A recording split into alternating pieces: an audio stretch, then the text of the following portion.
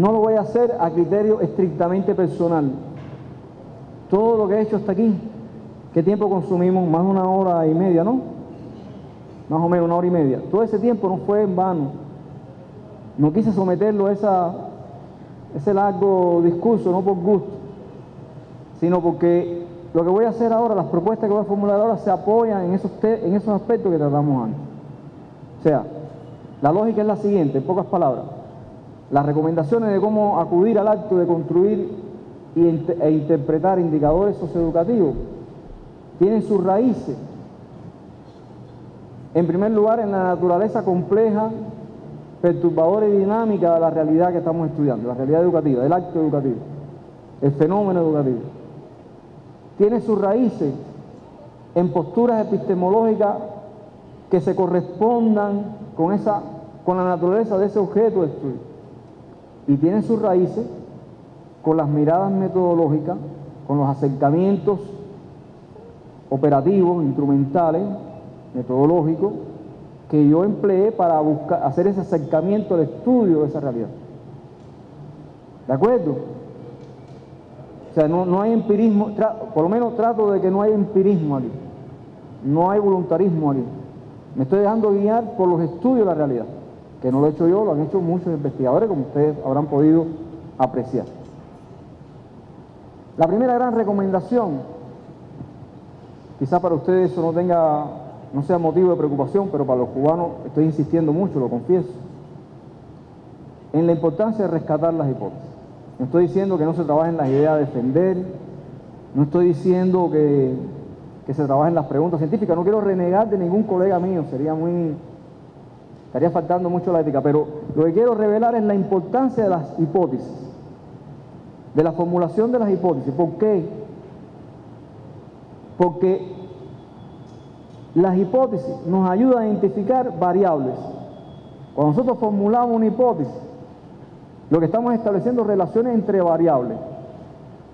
La estrategia metodológica, una tesis de ustedes, vamos, vamos a pensar en concreto la estrategia metodológica elaborada sobre tales fundamentos con, tales características debe provocar esto, o este nivel de desarrollo en esto.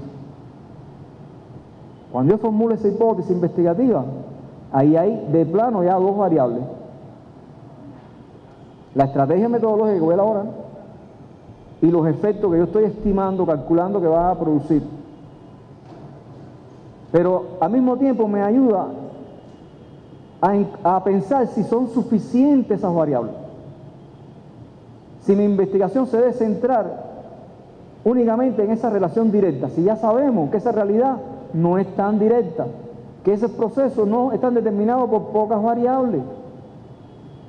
Luego la, hipótesis, yo diría más que la formulación, la reformulación, la revisión de la hipótesis, el hecho de reflexionar profundamente sobre cómo sería la hipótesis más completa, nos ayuda mucho hacer o aspirar a una buena construcción de indicadores.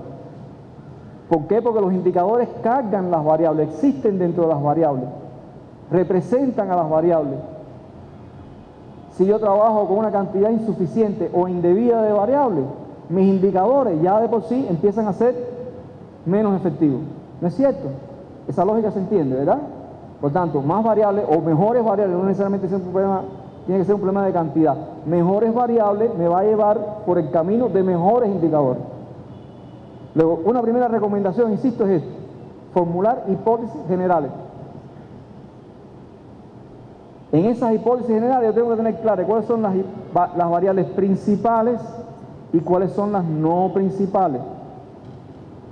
¿Qué funciones juegan?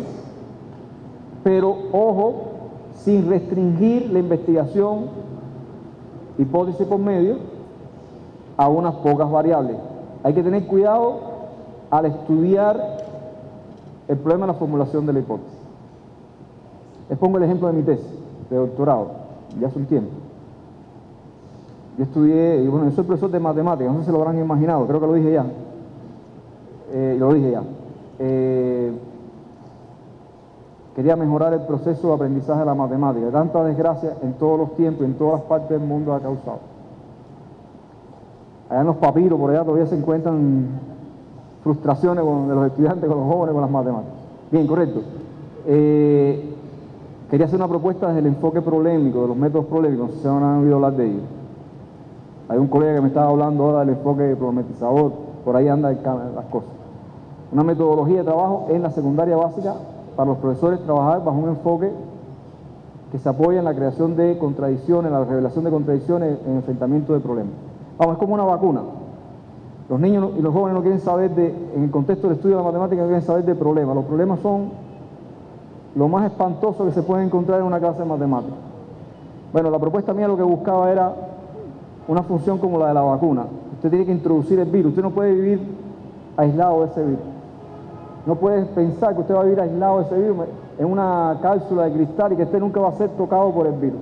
De lo que se trata es de encontrar un recurso para que ese virus, aun cuando yo lo, eh, lo introduzca, cree un efecto contrario, eleve las defensas porque le, quité la, célula, los, los componentes más nocivos del virus y preparé el organismo para recibir ese virus, enfrentar exitosamente ese virus. Entonces, vamos, de eso se trataba, un poco por ahí de la idea. Un poco quijotesca, ¿no? Pero cuando yo fui a hacer, no, eh, bueno, a ver, se logró probar al menos en un contexto. Eh, cuando usted fue, cuando fui a estudiar la propuesta, yo no me limité a mis dos variables principales. La variable independiente, aquí se puede hablar de variable independiente y dependiente porque hay experimentos, hubo experimentos. La variable independiente era la propuesta de empleo de los métodos problemáticos en las clases de matemáticas, la variable dependiente, los resultados de la calidad del aprendizaje. Yo no me limité a esas dos variables. ¿Por qué? Porque yo tuve que estudiar paralelamente el nivel de preparación de los docentes. Y probé al mismo tiempo que la, probé la relación principal, probé que para docentes más experimentados los resultados podían ser mejores que docentes menos experimentados o incluso docentes no experimentado y que por tanto la intensidad de la preparación, si usted quiere que eso se aplique bien, no es la misma con docente experimentado que menos experimentado. Yo estudié las condiciones de los estudiantes. Y entonces el contexto de donde provienen esos estudiantes marcó diferencia, aún con resultados positivos en el experimento. O sea, la necesidad de abrirse, lo que estoy haciendo en exhortación es abrirse, no hacer una mirada cerrada, porque esa realidad no es tan simple, como ya sabemos todos aquí. ¿De acuerdo? Esa es la primera recomendación.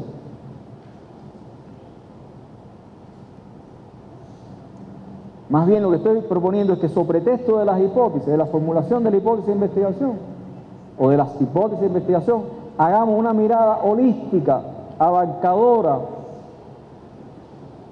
de el objeto que estoy estudiando. Recuerden el ejemplo que les puse de eficacia escolar.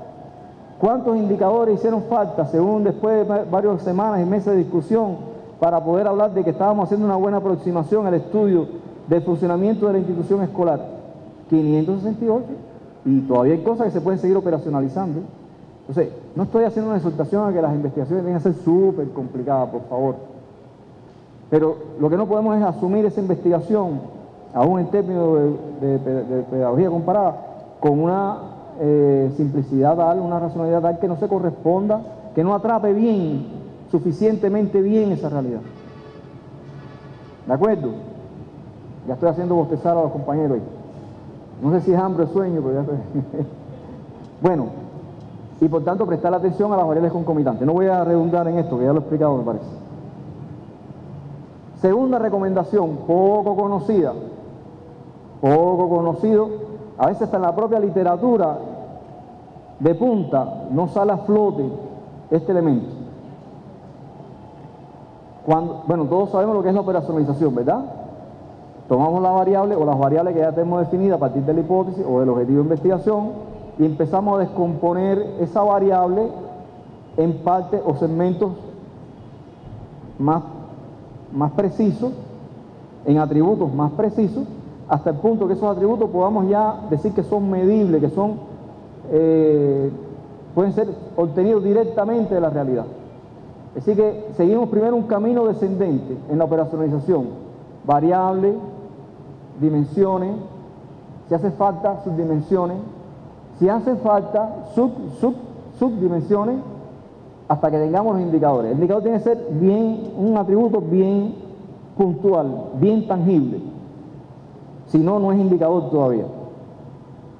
Creo que eso lo pudieron captar ayer con la charla de los compañeros que me precedieron. Bien, correcto. Ah, ¿dónde está el problema? Casi todo el mundo hace bien el camino descendente, el camino analítico. Toma la variable, la operacionaliza y termina con un grupo de indicadores realmente potables. Ah, de lo que se suele, lo que suele suceder es que nos olvidamos del camino ascendente. Porque entonces para llegar a conclusiones certeras, debiéramos regresar por esas mismas rutas en un camino ascendente, en un camino sintético. Así evaluamos los indicadores por separado, podemos hablar de la subdimensión donde ellos están, de los que ellos forman parte. Así se comportan las subdimensiones, hablamos de las dimensiones de las que ellas forman parte. Así lleguemos a conclusiones parciales sobre las dimensiones, podemos hablar finalmente de la variable y de la variable entonces con los elementos ya de la variable, con juicio sobre la variable, podemos entonces hablar finalmente de la hipótesis o del objetivo si no quieren formular la hipótesis. Es decir que, muy importante, el doble camino metodológico. ¿Por qué? ¿Cuál es el gran inconveniente, la gran insuficiencia metodológica de ir hacia abajo bien y después olvidarnos ascender con los datos por ese camino? Miren, que le dejamos al lector la decisión de interpretar finalmente qué pasó con la hipótesis de investigación. Cada cual hace la interpretación. Lo más común, lo que, estoy queriendo decir es que lo más común es que nos quedemos en describir los indicadores por separado. No integramos porque no subimos. Y entonces eso lo hace el, lector y el lector lo interpreta a su manera. Y entonces tengo decisores que me dicen, ah, sí, no, eso, eso, viceministros, directores nacionales, cuando le presentamos las investigaciones que hacemos, no, eso sí, eso ya, yo lo conocía. Si yo me paso la vida caminando el país, sí, es verdad, pero cuando yo integro todo, yo puedo decir no solamente si eso está bien o está mal, en correspondencia con ese pensamiento empírico, sino le puedo decir además cuán bien o cuán mal están las cosas. A veces lo importante no es saber que está mal, sino tomar conciencia de cuán mal están las cosas. Y eso sí lo puede, eso solamente lo da una investigación científica, un pensamiento objetivizado, profundo.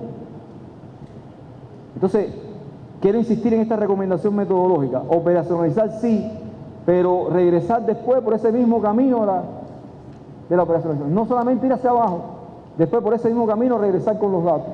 Ahorita voy a, voy a eh, ilustrar eso en un ejemplo. No, ahorita no, ya, ahí mismo. Bueno, es que ahorita ustedes eso, ahora mismo, ¿no? Ya, perfecto. Correcto. Si ahí los zurdos somos los cubanos, lo decimos todo al revés. Me pasó, me pasaba también en México, ¿eh? que tienen como ustedes, la horita es ya. Y entonces uno los confundía y nos creamos unos conflictos al inicio tremendos. Para no acudir a otras palabras que son todavía más complicadas. Lo que pasa es que ustedes eran los malos en la partida. sí. Muy bien, bueno, a ver.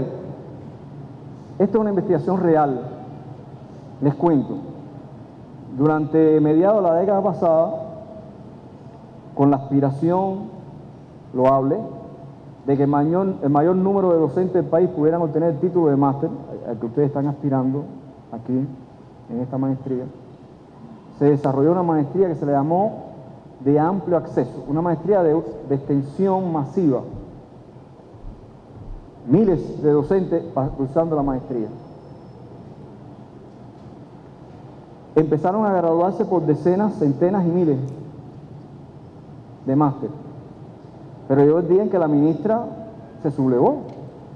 La compañera ministra dijo, bueno, tengo 124 mil nuevos máster en ciencia de la educación, pero los problemas educativos que tenía hace cinco años atrás me siguen golpeando aquí. ¿Dónde está el efecto, la efectividad de esa maestría? Porque en el programa de la maestría, el programa declarado se dice que el resultado esperado era que un crecimiento profesional del graduado de la maestría y una mejor influencia en la institución escolar donde trabaja ese magíster. Claro, si teníamos escuela con una altísima concentración de máster, lo esperado, lo lógico es que cambie las cosas, los procesos, la calidad de los procesos en esa escuela, ¿no es cierto? Pero la ministra se quejó. Y nos pidió a un grupo de investigadores que profundizáramos, hicieran una investigación y se la presentáramos ante su consejo científico. Yo les voy a explicar aquí los elementos fundamentales de esa investigación. Hipótesis de investigación que asumimos, el equipo de investigadores. Una hipótesis propositiva, porque realmente hay entusiasmo entre los maestros. Cuando ellos logran el título se sienten muy un crecimiento profesional evidente, se sienten contentos, hay una euforia en, ese sentido justificada. Por tanto, vamos a corresponder a eso y a lo que dice el programa que esperaban lograr. Vamos a suponer que, que en efecto, como nos están diciendo, a pesar de las quejas de la ministra, la maestría en ciencia de educación de amplio acceso produce un efecto positivo de consideración en las dos direcciones que ellos previeron. En la dirección del crecimiento profesional en lo individual y en la dirección del crecimiento institucional. ¿Sí? Vamos a asumir esa, asumimos esa hipótesis. Una intimidad. A mí que me han dado la responsabilidad de coordinar el equipo, le dije, sin los compañeros que dirigen la maestría no lo hago.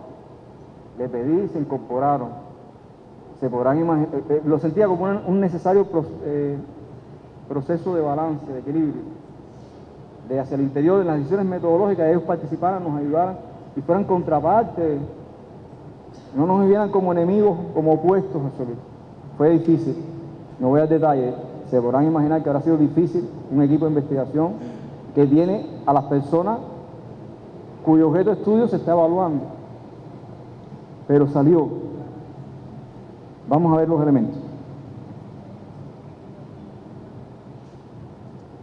Después de definir la hipótesis, las variables, básicamente dos variables, crecimiento profesional individual, mejor funcionamiento en la institución educativa, empezamos a operacionalizar esas variables. No las puedo desplegar. Ustedes tienen el manual de trabajo de campo. Librito verde va a aparecer por ahí en algún momento. Ustedes lo tienen. Ahí van a ver toda la operacionalización de las 60 variables, indicadores. Van a tener una tabla en uno de los anexos donde están variables, dimensiones, subdimensiones, indicadores, creo que está la escala y los instrumentos con que se mide. Un referente ahí. O sea, lo que yo no voy a hacer aquí les va a quedar para el trabajo independiente. El programa de la maestría dice que hay un porcentaje mucho, mucho mayor que de la actividad presencial. Aprovechen eso y después me hacen llegar sus críticas, de verdad, con confianza. Profe, aquí le faltó, mire, esta, esta, esta dimensión, esta subdimensión me parece incompleta, este indicador todavía no es un indicador, les dejo esa tarea. Bien, correcto. Terminamos con cinco subdimensiones en cada variable, en cada dimensión de la variable efectividad, perdón, y un total de 60 indicadores. Con los indicadores entonces construimos los instrumentos, los clásicos, ¿verdad? Bueno, hay algo que no he dicho. Ustedes se lo podrán imaginar, pero no lo había dicho. Esta investigación decidimos el equipo asumirlo con un enfoque mixto. Investigación cuantitativa y al mismo tiempo una investigación cualitativa. Las tendencias y las percepciones e influencias sobre las personas, las creencias de las personas, las opiniones estado de ánimo de las personas. Las dos cosas nos interesaban. Y entonces en correspondencia con esa decisión metodológica, trabajamos con, identificamos tres fuentes de información. Está pequeño, por eso me puse aquí al final con toda intención, para ver cómo lo veían los que estaban en el final y veo que están en desventaja. A ver, les cuento, la columna de la izquierda, extrema izquierda, son fuentes orales. La columna del centro de la tabla, fuentes visuales. Y la columna extrema derecha, fuentes escritas. O sea, ustedes que son avesados se dan cuenta que estamos hablando aquí o buscando qué cosa, una triangulación metodológica, triangulación de fuentes. ¿Por qué? ¿Quieren que les cuente por qué? Porque, no sé ustedes, pero entre nosotros ya las fuentes orales han empezado a dejar de ser confiables. La gente tiende a responder por el deber ser, lo que espera, que lo, que le gustaría el, locutor que el interlocutor que le dijera y no la realidad. Se empiezan a proteger, a una tendencia humana que lo identifiquen como hipercrítico, eso desgraciadamente está operando. Entonces era muy importante no depender de la fuente oral únicamente. sino buscar consistencia a través de otras fuentes. Tenemos instrumentos que son propiamente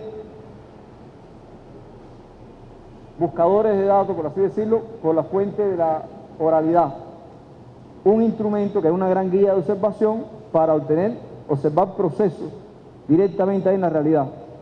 Y otras revisiones de documentos, que son dos grandes guías de revisiones de documentos, que abarcan muchísimos, muchísimos documentos, planes de clase, planes de trabajo metodológico, acta de consejo de dirección, acta de consejo técnico. No piensen que estamos hablando de dos documentos nada más. ¿eh? Bien, correcto. En total fueron cuatro entrevistas, guías de entrevista, una guía de observación y dos, tres. Un detalle. Observen que las guías son semi-estructuradas. Ese es otro rasgo. Si queremos buscar métodos mixtos, no, pensamos, no podemos mutilar los instrumentos y hacerlos cerrados porque empieza a desaparecer el enfoque cualitativo. Hay que tratar de que esas guías entrevistas fueran flexibles. O sea, si usted me está diciendo, eh, me, provoca, me hace sospechar algo adicional que es de interés, yo le pregunto más allá de lo que tenía escrito en, el reactivo de la guía, a diferencia de una guía estructurada. Si tengo que ir a ver un proceso adicionalmente que no está previsto para completar idea, para confirmar eso que me está informando, yo lo hago. Si tengo que ir a acudir a revisar un documento para son, son características de la metodología de la investigación cualitativa. Por eso es que hablamos de instrumentos semi-estructurados. ¿Sí? Bien, correcto. Vamos a ver entonces la siguiente diapositiva. Ya tenemos hipótesis, tenemos variables, tenemos operacionalización. De las operacionalización resultaron qué cosa? ¿Qué cosa? Sí, antes, pero, para cargar los instrumentos, ¿qué, ¿qué resultó al final de la operacionalización?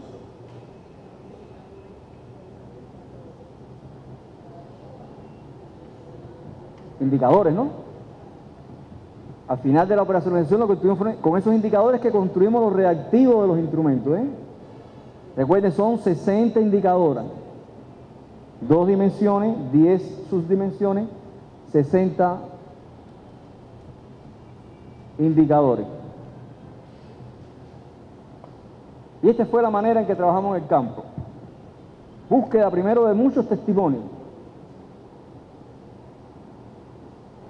acercamiento a un abordaje primero cualitativo, después buscar tendencias en el comportamiento de los indicadores que incorporamos a través de los reactivos en los instrumentos. Y después, de nuevo, un análisis cualitativo. Es lo que Sampieri llama diseño anidado concurrente de varios niveles. Busquen en Sampieri, se los recomiendo.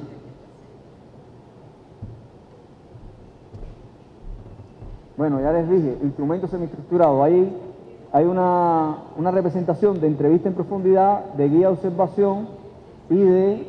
Eh, ustedes lo tienen en el manual de trabajo campo, están todos los instrumentos en detalle, todos. Lo pueden consultar. Estaba el tema de la aplicabilidad del trabajo de campo, porque no el equipo de investigadores central no, fueron, no pudimos ir al campo, tuvimos que apoyarnos en otros investigadores. Bien sea usted mismo o bien sea otro aplicador, un investigador de campo, lo correcto es establecer un manual de aplicación para que todo el mundo haga la aplicación lo más homogéneo posible. En manual usted tiene las recomendaciones que damos y las pautas que damos para que la aplicación fuera lo más homogénea posible. ¿Sí? Ahí está el librito verde.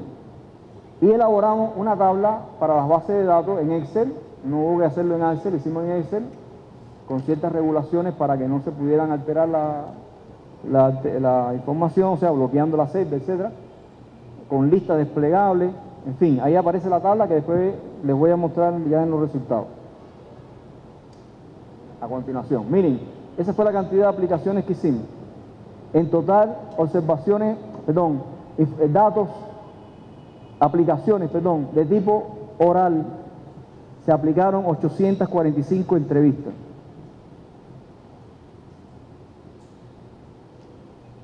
se, hicieron 434 observaciones de procesos educativos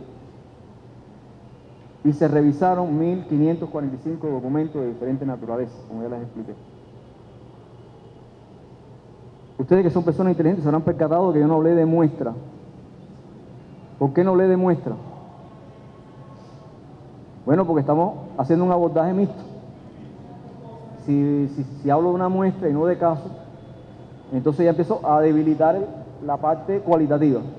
O sea, aquí no hay una extracción de una muestra aleatoria y representativa, con ninguno de los recursos que tenemos desde la estadística para buscar ese tipo de muestras rigurosas. No nos interesaba tanto la muestra, aunque sí buscamos representatividad ecológica. ¿Qué se llama hoy en día la representatividad ecológica? En la estadística, la representatividad se busca apoyado en la aleatoriedad, en el azar. En la medida que usted no selecciona intencionalmente, ya empieza a aparecer la representatividad, aunque el azar es sí mismo una condición importante en la muestra estadística.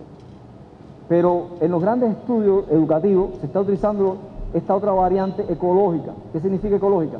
Que si usted sabe que la naturaleza del sujeto de estudio tiene estas diferencias importantes a nivel de regiones o a nivel de, de educativa, del tipo de enseñanza que usted asume, etcétera, usted trata de buscar representatividad de todos ellos, eso se le llama ecológica. En este caso, como teníamos graduado, a ver, voy a hablar en plata, como teníamos graduado de la maestría en ciclos infantiles, en guardería, en escuelas primarias, en escuelas secundarias, en escuelas eh, preuniversitarias, tratamos de seleccionar que hubiera representación de, de círculos infantiles con alta concentración de graduados, porque es una muestra estadística rigurosamente obtenida, posiblemente con una poca probabilidad, pero posiblemente la muestra no quedaría sesgada en términos de escuela, llegó el momento cumbre ahora, de escuela con, con pocos graduados. Aquí en la muestra ecológica lo que buscamos es que fueran escuelas donde hubiera una alta concentración de graduados. ¿Verdad? Si no, no tiene sentido lo que estamos, no tiene, pierde mucho sentido lo que estamos haciendo. Por tanto, la muestra ecológica usted busca es escuelas con, de distintos niveles educativos, con altas concentraciones de graduados, de distintas regiones del país ya tuviste que ni, ni, hablamos igual los santiagueros que los habaneros, aunque somos una nacionalidad, somos una unidad, eso sí, pero bueno, tenemos matices que hay que tener en cuenta. Elemento idiosincrático hay que tener en cuenta a la hora de, de mapear la muestra, entre comillas, la muestra ecológica. Bien, miren, le explico ahora, ahí empezaron a devolvernos datos. ¿Qué le decíamos a los aplicadores? Le decíamos, cada entrevista que usted haga, bien sea a un graduado, a un director de ese graduado, a un estudiante de ese graduado, cada entrevista que usted haga es una aplicación independiente. Y por tanto, usted agarra el instrumento y nos llena el instrumento de manera independiente. Y cada uno es un fichero que usted manda para acá, para el instituto. Es decir, le exigíamos a los aplicadores lo que se conoce como acta de relatoría. Cada observación, cada, documento revisado, cada entrevista revisada era un acta independiente. De ahí podíamos extraer después los testimonios que tienen tanta fuerza, tanta importancia en la parte cualitativa de la investigación. ¿De acuerdo? Oye, ¿hasta qué hora debemos trabajar aquí? Ya yo estoy pasado de tiempo, ¿verdad? ¿Hasta qué hora es? No hay problema, me, da me falta un poquito. No se pongan bravos, me va a faltar por lo menos 50 minutos. ¿Seguro? Bueno, espero que me sean sinceros. Esta niña está ya la pobre desesperada, ya me miró con una cara como diciendo 50 minutos más soportando este hombre aquí. Y menos mal que el niño de, de se ha portado excelentemente. Hay que dar, un, hay que dar una estrellita a ese niño hoy. Giovanna tiene que dar un premio, porque por lo que me han dicho, se ha portado hoy excelente. ¿Eh? ¿Cómo lo tienes entretenido? tienes comiendo, no sea abusador. Bueno, a ver, seguimos. Miren, por tanto, cada, miren, cada fila de, ese libro, de esa hoja de Excel es un, es un caso diferente, una aplicación diferente. Y cada columna, en la parte coloreada entre amarillo y rojo, rojo tinto, eh, o vino tinto, como dirían ustedes, posiblemente, son los indicadores Miren la importancia de mapear los datos. En un simple golpe de vista, sabemos ahí que los indicadores que están marcados de arriba hacia abajo, totalmente en, rojo tinto, marrón, son indicadores que afectaron prácticamente a todas las unidades de análisis, a toda la muestra ecológica. En cambio, estas manchas rojas que están aisladas, que parecen como islas más a la derecha, nos están diciendo que esos indicadores estuvieron afectados sobre todo en estos casos, que son este tipo de escuela o, este, o esta región del país, habría que estudiarlo a fondo. O sea, el mapeo te da rápidamente, lo rojo significa no logrado, lo amarillo significa que el indicador al aplicar el instrumento dio logrado. En términos de código, al logrado le pusimos 1 y al no logrado le pusimos 0. Eso está bien. Es que, estoy queriendo decir que esa variable es numérica. No. Todo, prácticamente todos los indicadores que trabajamos en la investigación, por ser educativos, socioeducativos, casi todo lo que trabajamos en educación son indicadores de naturaleza cualitativa, son variables cualitativas. Porque no hay métrica, como yo expliqué. Ah, pero yo le puedo poner 0 y 1 si yo no cometo el error de operar, de pretender operar con esos números. Es un problema de codificación nada más, para comodidad en el trabajo. Es más fácil entrar en 1 y un 0 con la calculadora del teclado que ponerme a escribir se logró, no se logró, porque ahí empiezan las desgracias. Está el que lo pone en mayúscula, el que lo pone en minúscula, que comete faltas ortográficas, al final usted no puede procesar eso. Entonces le poníamos una lista 1, 0, marque 0, marque 1, pero no operamos con esos códigos. ¿De acuerdo? Estoy tratando de integrar cosas, se percatarán.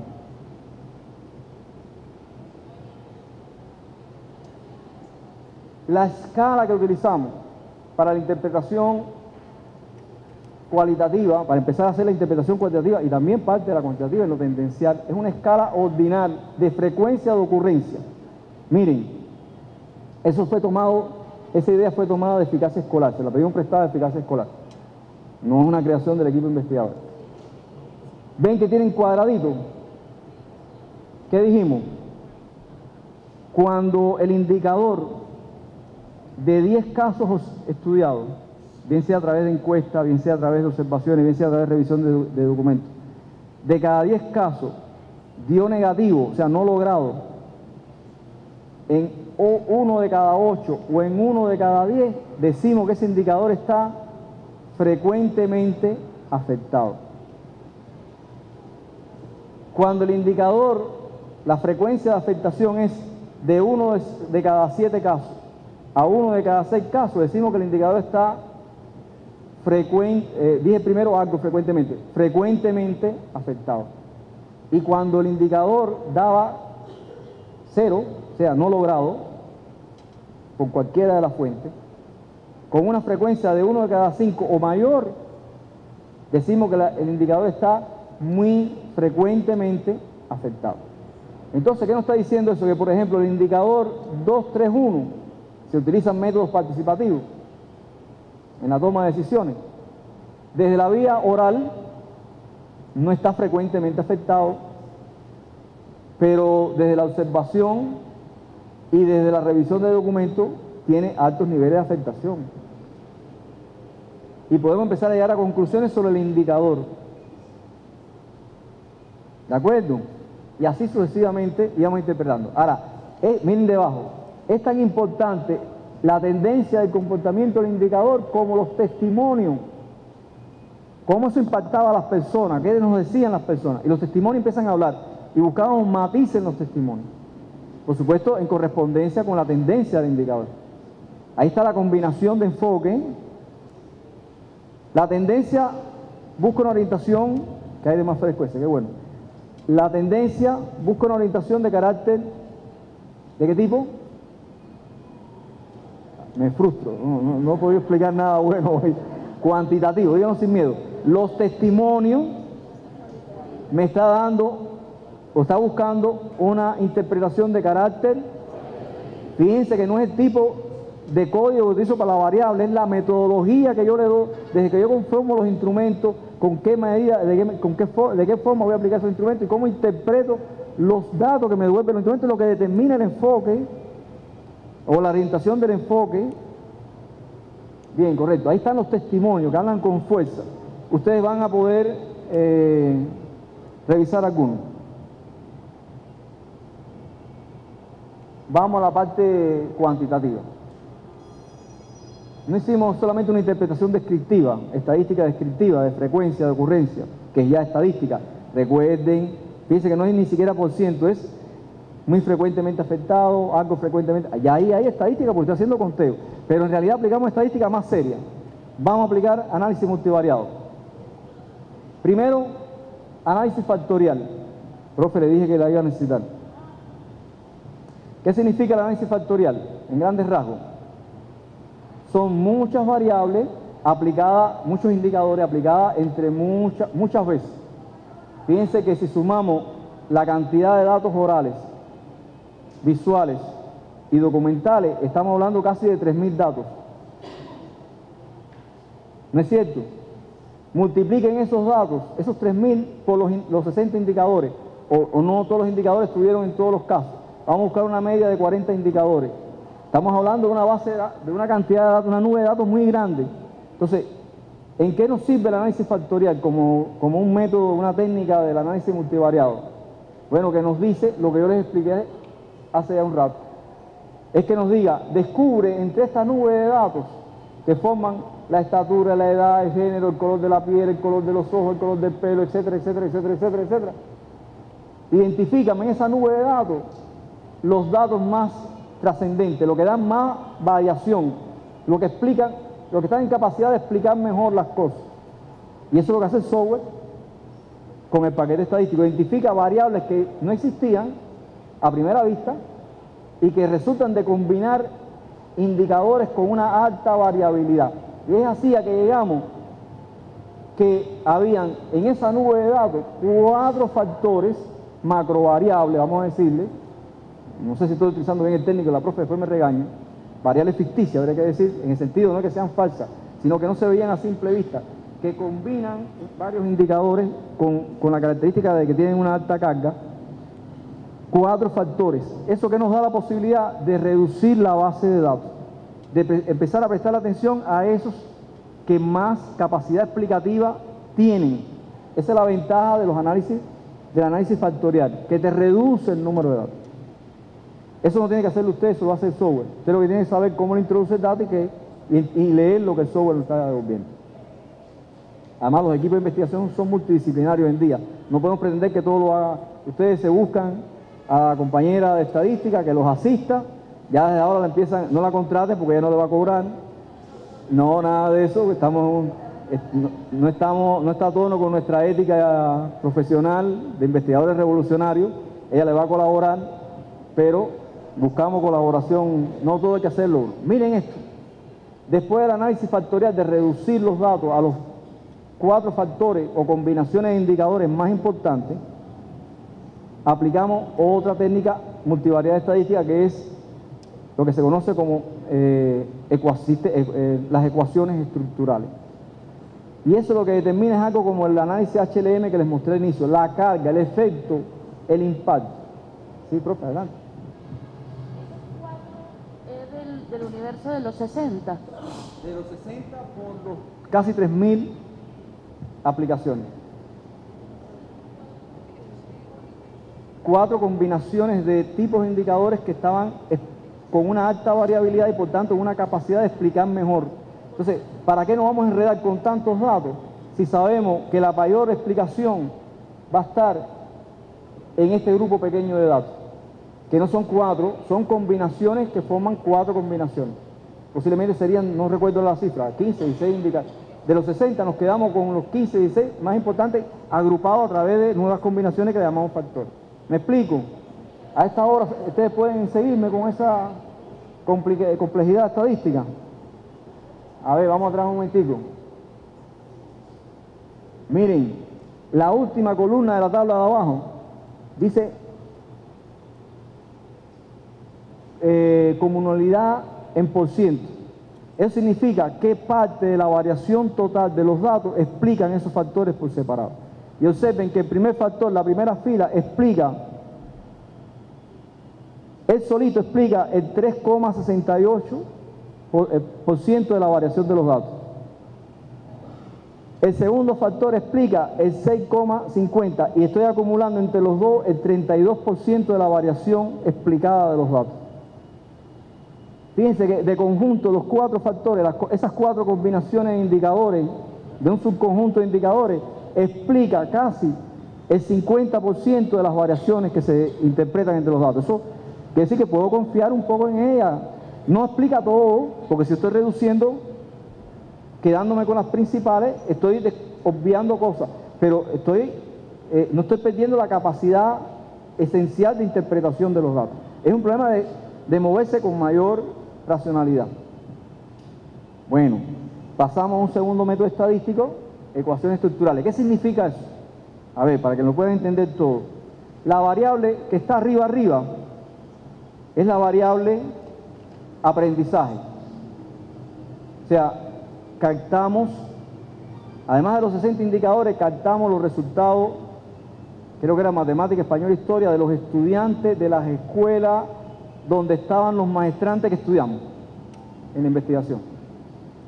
Y tiramos lo que nos dio el análisis factorial, los indicadores que cargaban esos cuatro factores, lo contrastamos, lo lanzamos contra el aprendizaje, contra las calificaciones, siempre atendiendo la variación. Una alta calificación profesional contra un bajo rendimiento cognitivo, eso explica poco. ¿Sí? Buscamos explicar qué era lo que mejor explica, qué era lo que mejor explica. ¿Qué río que presten atención? Caray, qué pena, se ve muy mal. Ustedes ven unos numeritos que están pegados a la saeta que van desde el indicador hasta la variable de contraste. ¿Se logra ver? Miren, estos numeritos que están aquí. Esto es punto 14, ¿verdad? Este que está aquí. O sea, eso es 0,14. La magnitud, el impacto de ese indicador, que era la edad del, graduado, es muy pequeña sobre el aprendizaje. Explica muy poco el aprendizaje. La experiencia profesional 0,02. Así que señores, a jugar por este estudio hay que empezarse a cuestionar y crear y, romper con ese mito de que el profesor más experimentado es el mejor profesor. No necesariamente tiene que ser así. ¿Sí? El estar graduado de la maestría menos 0,03. ¿Qué quiere decir el menos 0,03? que se graduó con una gran calificación y sus alumnos en el aprendizaje van por otro camino bien diferente.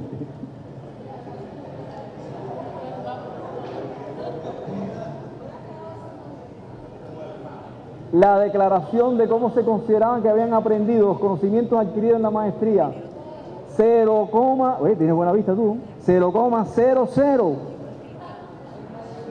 Nada que ver, no influye nada en el aprendizaje de los estudiantes. Y así sucesivamente, es decir, salvo el estilo de dirección de la escuela, debajo, que tiene 9,17, es algo ya un poco más de consideración. Es decir, ¿qué estamos queriendo decir con eso de la mirada cuantitativa? Estamos queriendo decir que según esa gran nube de datos que pudimos levantar, ¿perdón? Menos la calidad de la clase, etcétera, menos 7,56, menos, negativo, contrario. Compañero, y entonces esto da, esta posible, cuando usted combina los dos resultados parciales, tanto la mirada cualitativa con sus testimonios y tendencias con escala ordinal, en frecuencia de fracaso, con serios, sofisticados recursos estadísticos por la vía cuantitativa, usted lo que se encuentra es que tanto por un lado como por el otro lado no hay elementos suficientes para poder sostener la hipótesis de investigación. No, no podemos decir con esos datos que como se esperaba, la maestría logró una alta efectividad en el crecimiento profesional de las personas y mucho menos en la mejoría del funcionamiento de la institución donde ellos trabajan. Ah, sí, mejoró su entusiasmo, su autoestima, eso sí, eso sí dio, pero no lo que se estaba esperando que lograra. Es decir, señora compañera ministra, perdón, mire, efectivamente, no podemos sentirnos satisfechos. Ellos lo asumieron con mucha dignidad y están haciendo procesos de revisión de los autores del programa, quise decir, están haciendo replicaciones procesos de mejora, de cambio en la implementación. Son maestrías que se hicieron a distancia, semipresenciales, muchas veces con, una videoclase, con una teleclase, con un disco de CD, con una alta bibliografía, pero no había muchas veces un profesor permanentemente en el salón de clase. Es esperar estas cosas. Entonces, le, le estoy tratando de ilustrar la importancia de esta recomendación. Ya nos perdimos, ya nos olvidamos de dónde, dónde empezó este ejemplo. Este ejemplo empieza en la recomendación de que siempre que usted pueda, utilice la investigación educativa, siempre que usted pueda, método mixto. ¿Me siguen? Bien. Y la otra, la otra recomendación en el tema de los indicadores, bueno, perdón, un elemento adicional. Ahí está eh, el Atlas TA. ¿Qué es el Atlas TA? Se los dejo, miren el libro verde. Le dejo el, no el software. El software, sí, hay, hay un software, eh, un software, un demo, que con cierta limitación se puede utilizar. Creo que se los dejé. Pero al menos le dejo el manual. Si compran el Anderson Pérez se van a encontrar el software, si no se los dejo yo.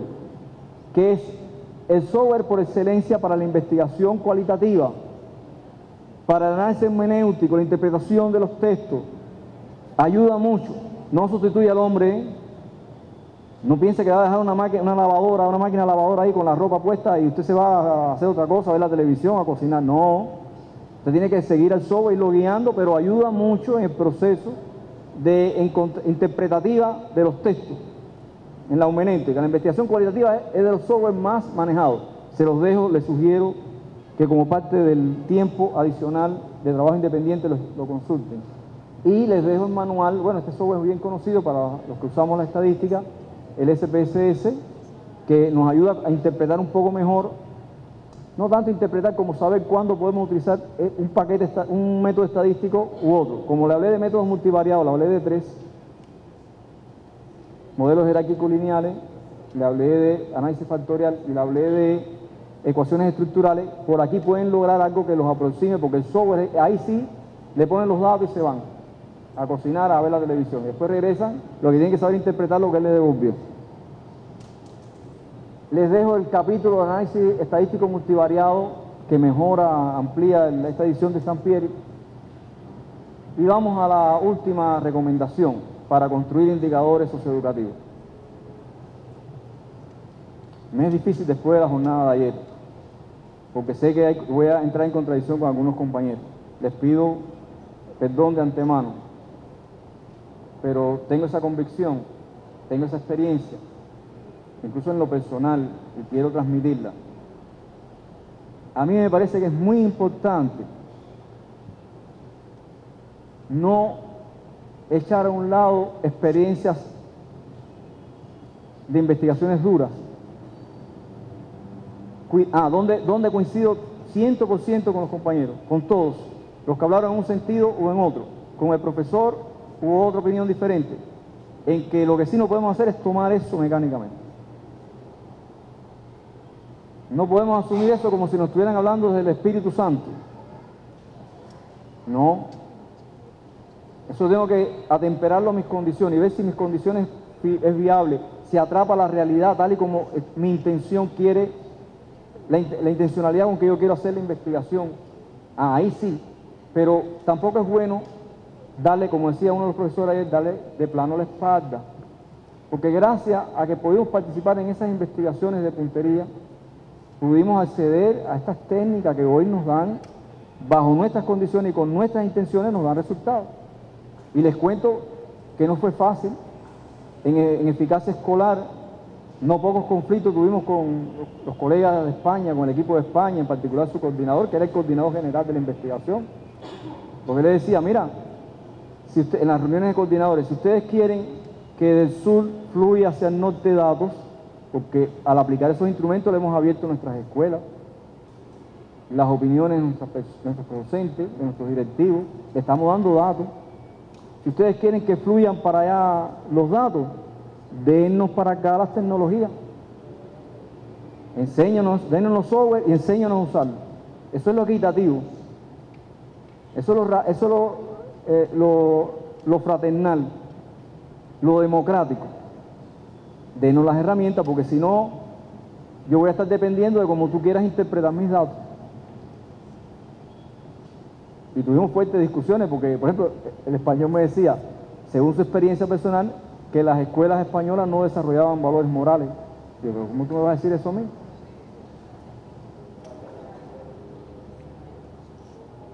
Bueno, puede ser la experiencia de ellos allá, con la manera que estén educando allá, pero para nosotros la escuela indiscutiblemente es un centro de virtud si trabajamos bien, si, si hacemos las cosas como se nos pide desde la sociedad, si nos ajustamos a nuestros preceptos pedagógicos. ¿Cómo no vamos a formar valores morales?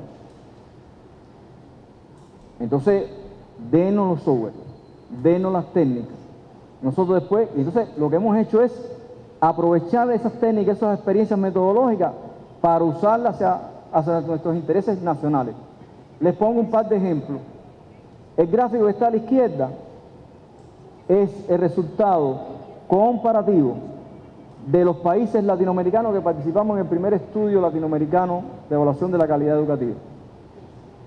Es como una foto finish de carrera de caballo, le dicen algunos metodólogos de investigación burdamente. Bien, el caballo que está más arriba, bueno, a ver, primero, la línea esta oscura que se ve aquí es el promedio regional de todos los países que participamos. Ustedes participaron en ese estudio en el año 97. Esta línea oscura, que como está medida en una escala de Rash, el aprendizaje, eso es matemática de tercer grado. Se centró la escala en 250 puntos. Perdón, sí, en 250 puntos. Y se consideró una unidad de desviación estándar cada 50 unidades, que son estas líneas que siguen aquí. Ven, esta es Cuba. Estos son los niños cubanos en el año 97 en matemáticas de tercer grado. Este es el promedio de América Latina toda. Aquí están el resto de los países que participaron.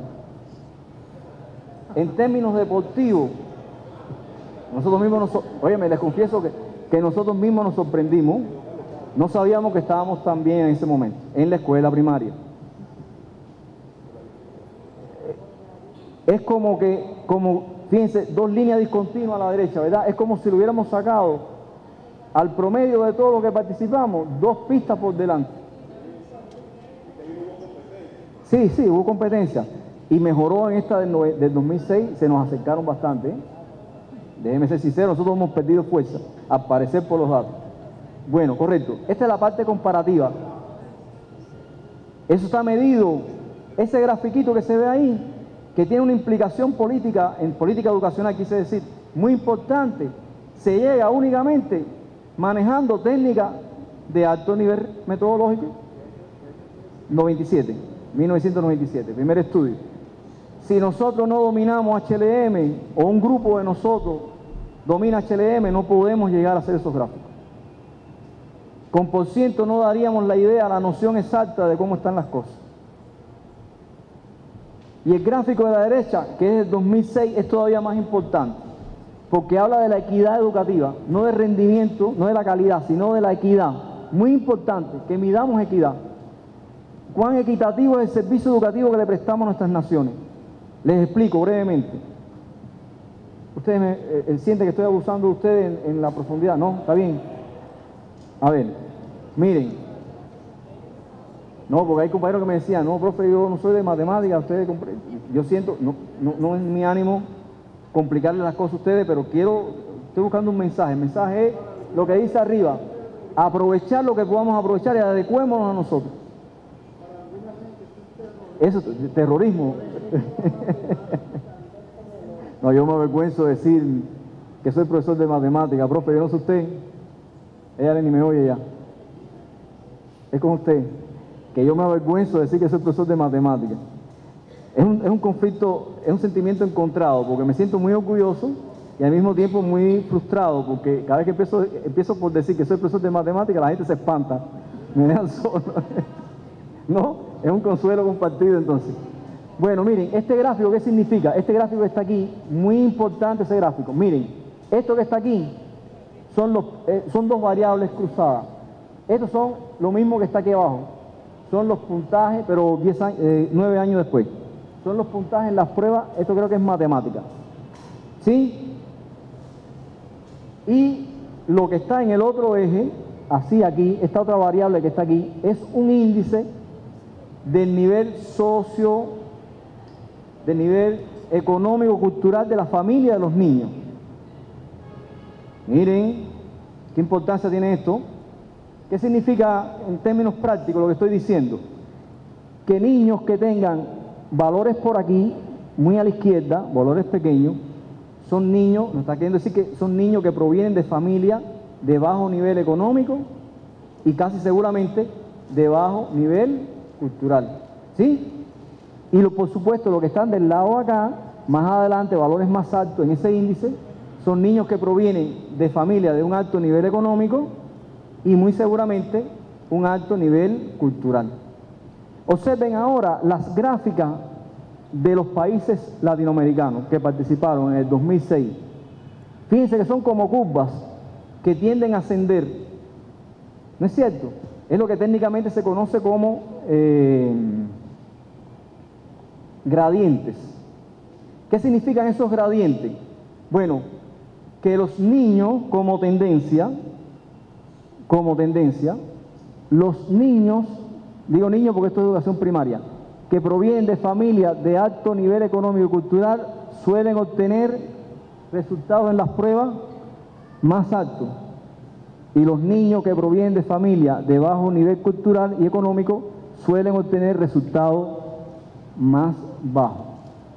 Ahora les pido, sin chauvinismo, discúlpenme, no es la intención, que vean la gráfica de Cuba, es esta que está acá arriba. Ya sabemos que se suele obtener, los niños cubanos suelen obtener altos puntajes en estas pruebas. Pero observen lo que quiero destacar aquí. La gráfica sigue siendo un gradiente típico, una curva.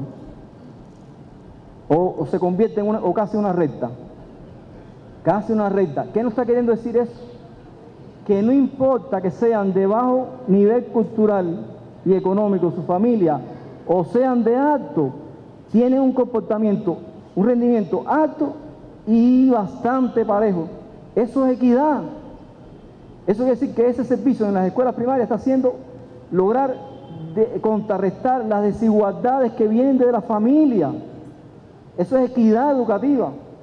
No solamente calidad, es equidad, es igualdad en los resultados. Eso hay que ponérselo en las manos los dirigentes. Cuán lejos o cuán cerca estamos logrando eso, con qué ritmo acelerado lo estamos alcanzando. Estamos Forma parte de nuestros deberes como investigadores, estar en capacidad de poner informaciones fuertes a los decisores.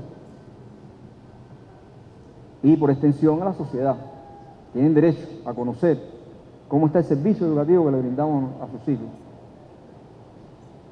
En sociedades como las nuestras, verdaderamente democráticas, verdaderamente humanistas. ¿sí? Porque el imperio nos ha robado hasta los términos. Para ellos, ellos son los democráticos, nosotros no somos democráticos.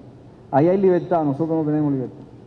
Bueno, tenemos que desde la ciencia hacer nuestro aporte, nuestro granito de arena para combatir esos bombardeos que lo hacen a través de sus grandes medios de difusión.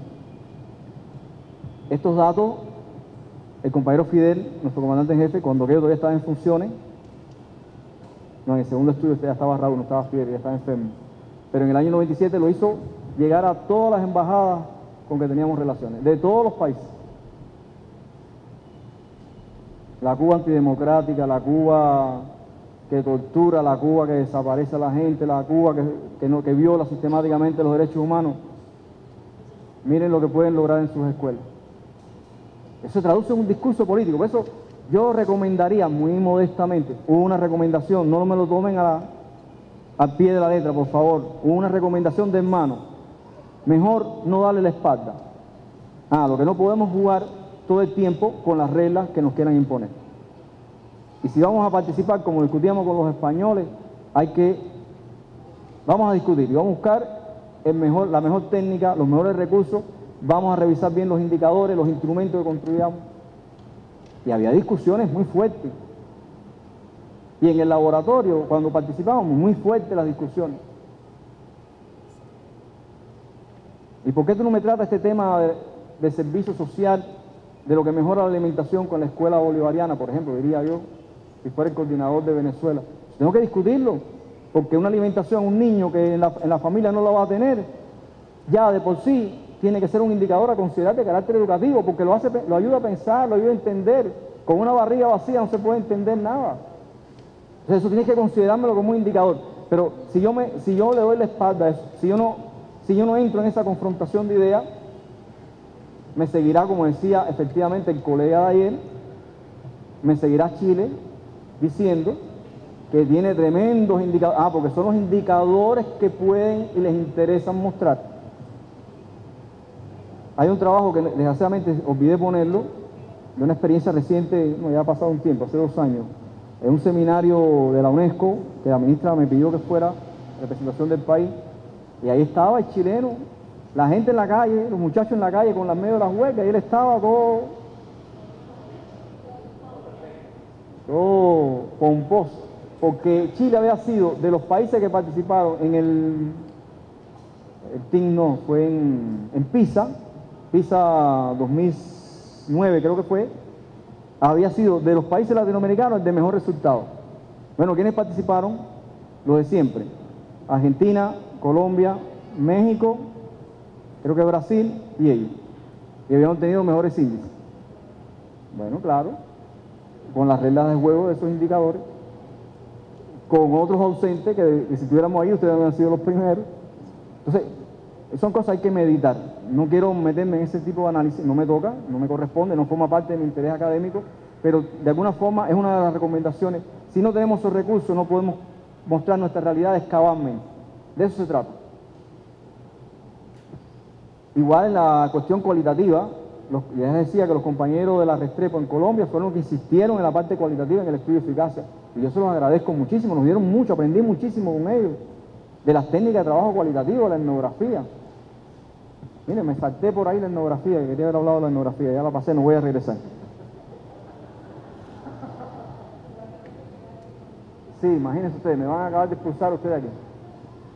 Y por último, eh, relacionado con lo anterior, como, un colorario del anterior, generar investigaciones hacia el interior del país. ¿Qué hicimos nosotros? Miren, la izquierda, esa es una tabla de resultados de un estudio que hicimos en el año 97 con los centros de referencias provinciales. Quedan los centros de referencias provinciales, las escuelas donde el Ministerio de Educación de Cuba hacía todos los experimentos, todas las técnicas y elementos que quería metodológicamente introducir, generalizar en las escuelas, iban primero a demostrarlo allí, con la esperanza de que esa escuela después radiara hacia las otras. Pero era de esperar que si en algún lugar tenía que funcionar bien las cosas en Cuba, era en los centros de referencia. Bueno, nos metimos a investigar porque la matemática estaba en el piso. Miren, los datos que aparecen, una corrida de siete modelos, la última columna, observen, criterio del docente menos 3,26. ¿Qué significa eso? Que cuando le preguntamos al docente, ¿cómo tú crees que van a salir tus estudiantes? Ellos dijeron, mis estudiantes en matemáticas están por aquí. Y después que procesamos los datos, los estudiantes en matemáticas de ese profesor estaban, hay que mejorar el diagnóstico pedagógico, ministerio. Hay que entrenar mejor a nuestros profesores a diagnosticar pedagógicamente a, sus alumnos. No está funcionando bien. Y para no alargar mucho las cosas, el gran descubrimiento, el 19,78 del ajuste a la experiencia, a la exigencia del programa escolar. Lo que mejor explica en el año 97 que en los centros de referencia los muchachos salían tan mal en matemáticas es el incumplimiento del programa escolar. Los maestros le tienen fobia a la geometría y se, se dejaba de dar geometría.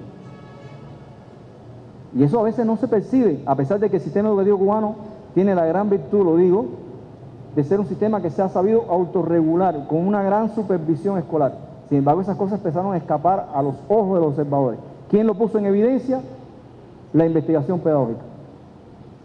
Sin esas técnicas que aprendimos antes no pudiéramos haber hecho eso.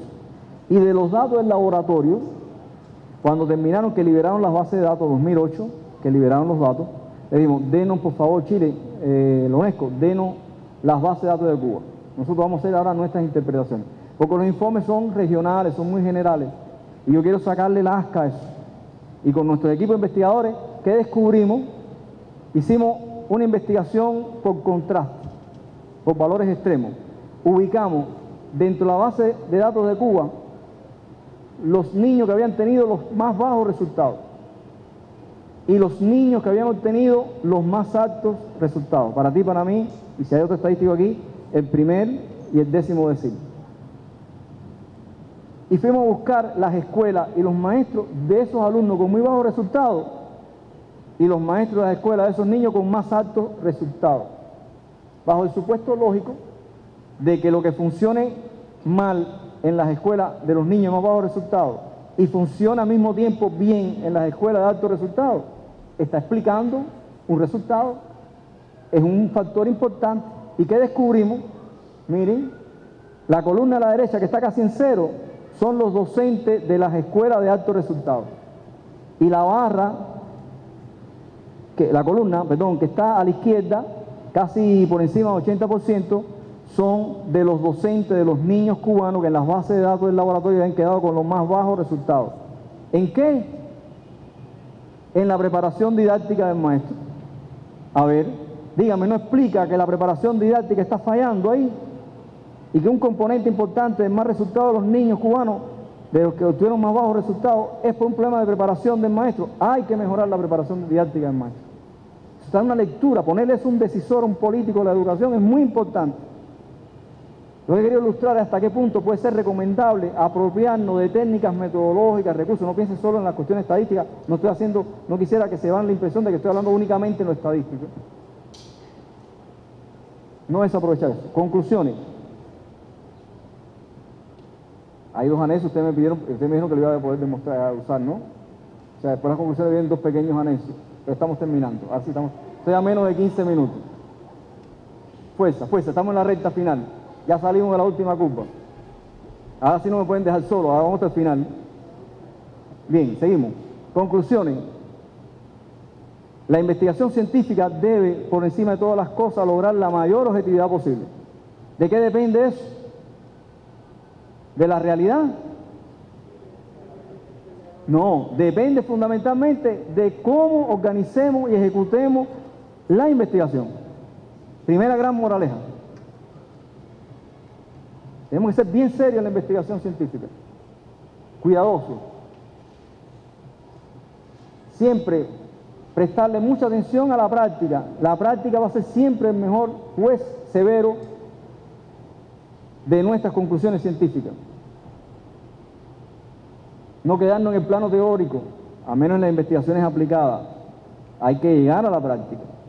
Hay que hacer investigación teórica. No estoy renegando la investigación teórica, por favor. Sé que algún compañero ayer habló de que tiene una tesis que tiene que ver sobre investigación teórica. Algo de historia de la pedagogía, me pareció entender. ¿Fue aquí o fue en, o fue en el Zulia cuando estuve el otro día? Bueno, está bien. Que quede dicho, ya que me están grabando de paso. Que lo dije, que no, que no estaba renegando. Bien, correcto. El proceso educativo, seamos conscientes, conclusión importante, que el proceso educativo no se puede tomar a la ligera, para nada.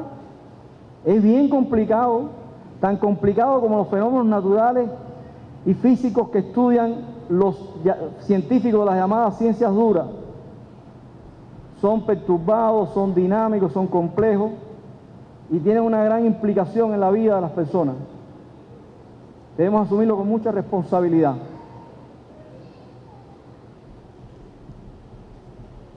Y cuando no actuemos así, lo que estamos haciendo es echándole más leña al fuego. Estamos dando más razón a lo que nos dicen que somos de las ciencias blandas. Y estaremos contribuyendo a desprestigiar más la ciencia de la educación. La investigación tiene que elegirse como el paladín que pruebe la fortaleza, la fuerza, la capacidad explicativa de la investigación educativa. Y en eso la educación comparada tiene mucho que decir y aportar, como ha venido siendo. ¿Cómo enfrentar esas realidades? Le he dado cuatro grandes recomendaciones, no para que me la tomen al pie de la letra, son sugerencias, una visión desde una perspectiva, una más de la que ustedes disponen ahora para llegar a conclusiones de cómo, cómo desempeñarse como profesional de la investigación. Rescatar el papel de las hipótesis, porque nos ayuda a encontrar, a repensar las variables, no solamente las principales, sino las otras que debemos considerar. Utilizar la operacionalización con un doble camino, no dejarle al lector la capacidad de interpretar a su manera los datos, porque dejaría ser conocimiento objetivo, sería de nuevo pensamiento empírico. Acepto de los, de los resultados que me están presentando, si los presento separadamente, por cada indicador por separado, y yo interpreto, y no le doy yo la interpretación, entonces sencillamente con una alta probabilidad caemos de nuevo en el pensamiento, ah, esto sí, esto no, esto sí se corresponde con lo que yo creo, esto no, y no lo asumo. No, no, no, hagamos la interpretación completa. La maestría no. Tiene muchas virtudes en esto, en esto, en esto, pero esto me dijo que no. No tengo elementos para decir que sí.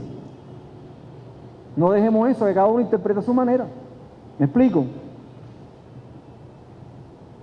Incorporar los métodos mixtos de eso lado y aprovechar creadoramente las experiencias avanzadas. Creadoramente y adaptándolas a mis condiciones. 100% de acuerdo con eso. Y utilizándola para después revertirla hacia el interior de mi nación, de mi sociedad, para ayudar a mejorar la devolución de los resultados.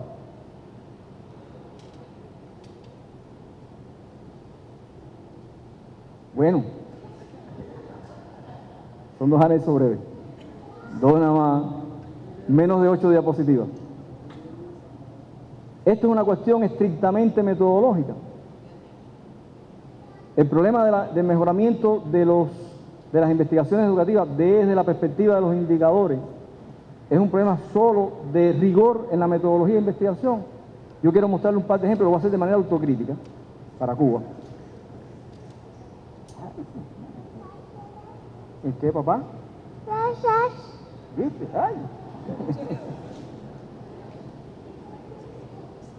Visibilidad internacional.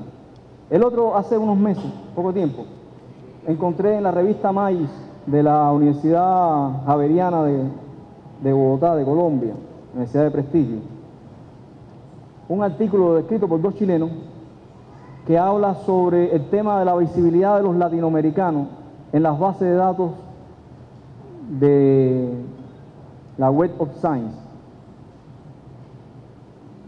Les explico brevemente. Existen ciencias, disciplinas, entre ellas la bibliometría, que estudian la productividad de los países, de las revistas y de los investigadores. Y resulta ser que los creadores de esas potentes bases de datos fueron nuestros vecinos del norte. Siempre la viva, siempre deseoso de los rankings, muy dados a los rankings, para demostrar su gran poderío, su gran inteligencia, dicen ellos, piensan ellos. Y entonces, ¿qué pasa? Que en esas revistas que son visualizadas a través, o sea, computadas en las bases de datos Thomson de la Web of Science, generalmente van revistas, con un altísimo por ciento van revistas que están escritas únicamente en inglés. Cuando se dejan de escribir revistas que no están en inglés, no solamente el abstract, no solamente el resumen, sino que el artículo está en inglés, ya no son aceptadas por esas revistas. Son revistas indexadas con un alto rigor, metodológico. Y entonces, ¿qué pasa? Cuando usted, bajo esas reglas, mire el tema de las reglas de las miradas, de los indicadores, qué importantes son. Este es otro ejemplo más. Cuando nos miran con esas reglas, América Latina solamente produce, eh, solamente se ve en la website en un 3%. Casi que no existe investigación social en América Latina. Y entonces estos chilenos tuvieron la habilidad de decir, no, está bien, vamos a cambiar los indicadores, vamos a cambiar los parámetros de comparación. Como Google se ha desarrollado tanto que es de ellos, pero dicen que es gratis, que es uniforme para todos, Google ha desarrollado el Google Académico, la opción de Google Académico, que computa las citas de los investigadores. La cantidad de citas de veces que he citado un investigador, o un artículo o una revista. Y entonces dicen los chilenos, bueno, vamos a, vamos a darle de lado aquella metodología estándar de la Web of Science, de, Scopus, Stonson, eso, que son para la, bajo la mirada de ellos, los grandes investigadores, y vamos a compararnos a partir de la metodología alternativa de Google, que nos da los datos bibliométricos. Y ahí tenemos, no, ese todavía no es Google, esos son cinco grandes especialistas cubanos que voy a mantener en el anonimato, le he llamado, le he llamado aquí ABCDEF, que son destacados investigadores en el campo de la educación, que cuentan con una gran cantidad de seguidores entre aspirantes de maestría y doctorado, que tienen un cierto nivel de publicación. Y dije, bueno, voy a aprovechar esa información de las bases de datos nacionales para contrastarla con lo que hicieron los chilenos. El estudio comparativo que hicieron los chilenos. Bueno, aquí se busqué con Google académico, calculé la cita, los índices, el índice H, el índice I, no voy a explicar eso ahora aquí, está en el artículo, está más, un poco más detallado. lo que encontré es que confirma de alguna forma lo que me daban las bases nacionales de nuestro centro de documentación. Y aquí están lo que habían hecho los chilenos y le incorporé los datos de los, de los cinco cubanos. ¿Qué encontré? Que descubrí que ni siquiera en la metodología alternativa, no la rigurosa de la Thomson, en la Web of Science, sino en la metodología eh, eh, accesible a todos de la Google académico, nosotros tenemos de todos los casos el más bajo resultado de publicación. Escribimos poco y nos citan, por tanto, poco. Bueno, como no había la misma cantidad de países, eh, de investigadores por países, porque hicieron una, los chilenos hicieron una consulta, ¿quiénes ustedes proponen de Argentina? ¿Quiénes ustedes proponen de México? Sus mejores representantes. Y con eso fue que cargaron los datos. Dije, como no es la misma cantidad, ah, perdón, incluso hay norteamericanos. Esos norteamericanos son norteamericanos que escriben para América Latina. Por ejemplo, uno de los dos norteamericanos que está ahí procesado en ese artículo es Martin Carnoy. ¿Quién es Martin Carnoy? Un destacado especialista de la Universidad de Stanford. Tuve el privilegio de conocer a Martin Carnoy. ¿Por qué? Porque Martin Carnoy, que es un consultor internacional, cuando se terminó el primer estudio del 97, ¿te acuerdan la foto de de Cuba adelante? Dijo, no, no, no, vamos a buscar explicaciones, a decir verdad. Y pidió permiso a los gobiernos de Brasil, Chile y Cuba para hacer un estudio cualitativo a profundidad. Y estuvo en Cuba, lo autorizaron, y yo lo pude acompañar a las escuelas primarias que él quiso ir a visitar, y firmaron las clases, eso que me están haciendo a mí hoy, ahí se lo firmaron. No, no, respetamos eso, una decisión legítima, no sé que lo van a usar para bien. Pero no debe ser tensionante para uno, ¿no? Porque tiene que medir bien lo que está diciendo. ¿Cuántos disparates nos han quedado grabados ahí, Dios mío? Bueno, a ver. Eh, decía que Martin Carnoy hizo ese estudio con su equipo de investigadores, firmaron en Chile, firmaron en Brasil, firmaron en Cuba. Se fueron para Stanford, hicieron un análisis a fondo con las firmaciones. Y hay un libro, Weekend, se los recomiendo, en la red, es un bestseller. La traducción en español sería ¿Por qué los niños, por qué resultados tan avanzados los niños cubanos?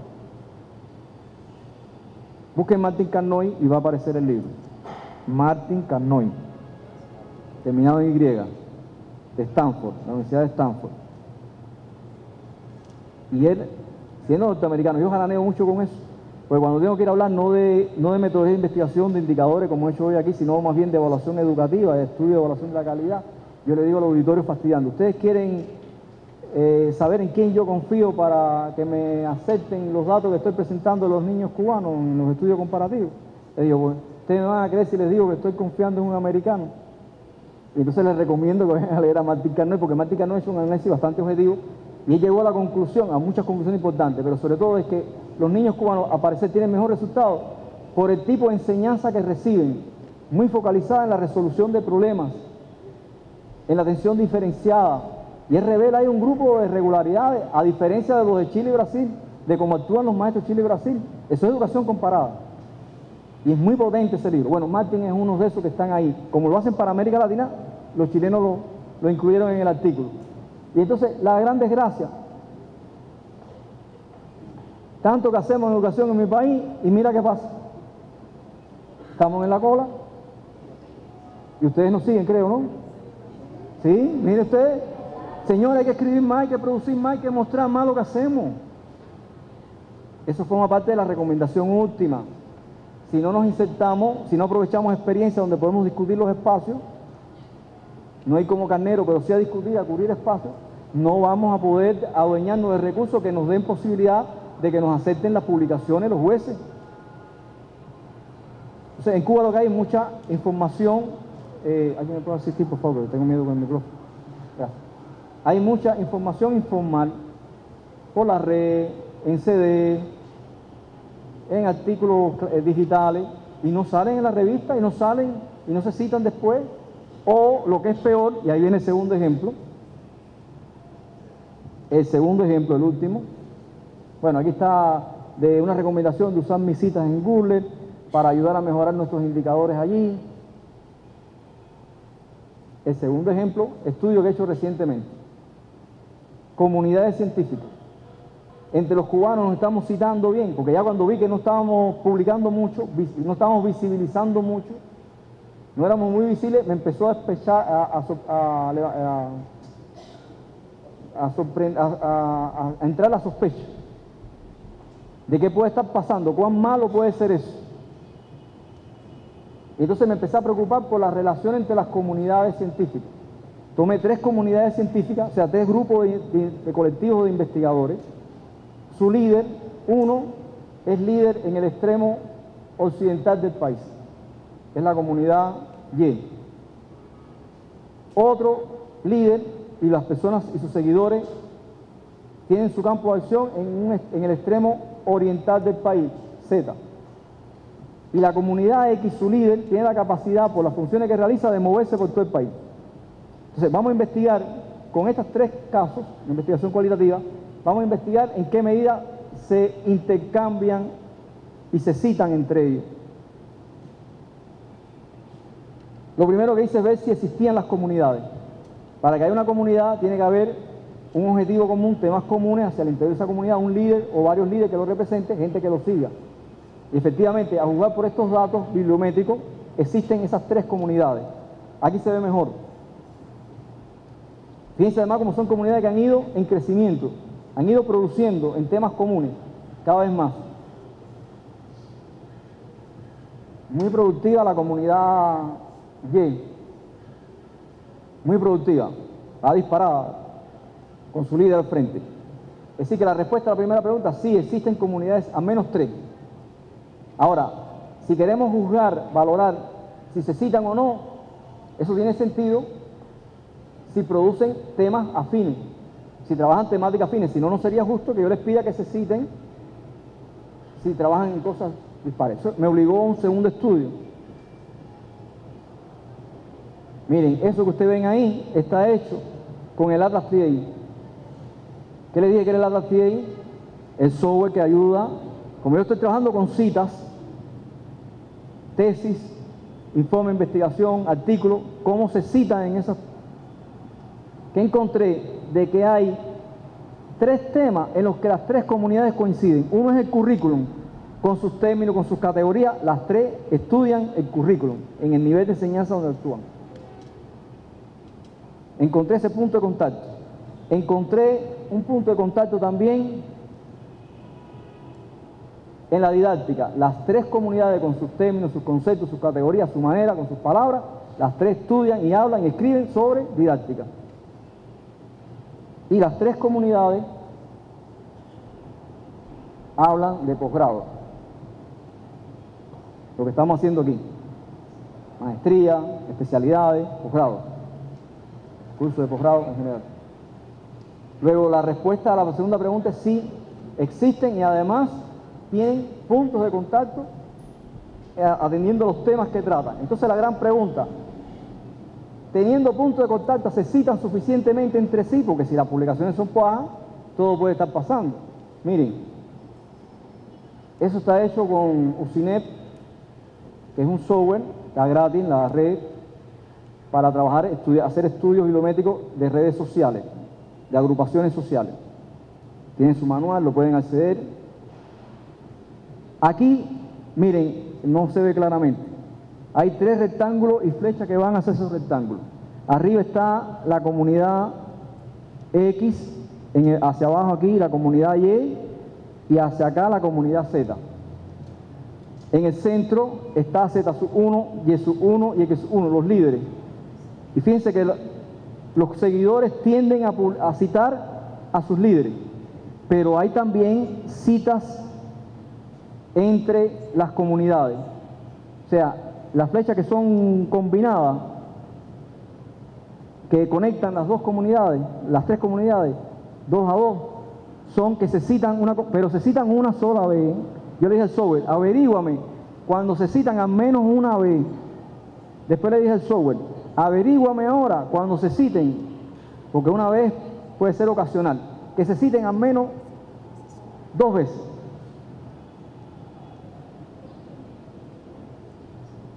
Bueno, a ver si de verdad hay colaboración, búscame ahora, le dije al software, cuando se citen cinco o más veces.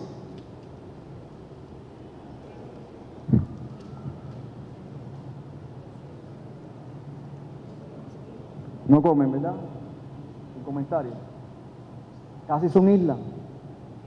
Entonces, compañero, conclusión a la que los quiero aproximar. El tema de la investigación, de la elevación de la calidad de la investigación pedagógica no depende solo de una cuestión metodológica, tiene un cariz también social, de ética, de porque si yo me empiezo a autocitar, fíjense que lo que hacen las comunidades es más bien autocitarse. ¿Dónde está la confrontación de ideas? El debate científico se debilita.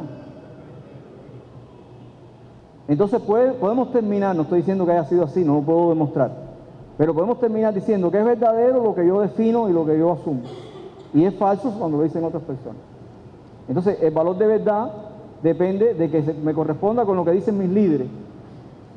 Conclusión, quien yo dije que era el gran juez que no podemos descuidar nunca, la práctica, pero hay mucho trabajo teórico, autocitándose, se debilita la calidad de la investigación.